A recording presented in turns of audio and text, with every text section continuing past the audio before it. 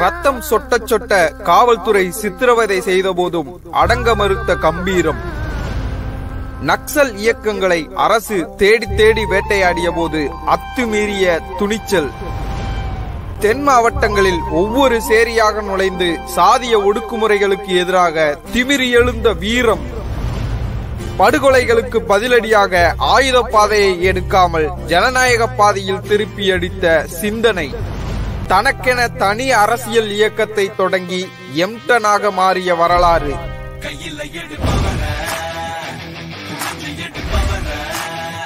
விடுதலை சிறுத்தைகள் கட்சியின் தலைவர் டாக்டர் தொல் திருமாவளவனின்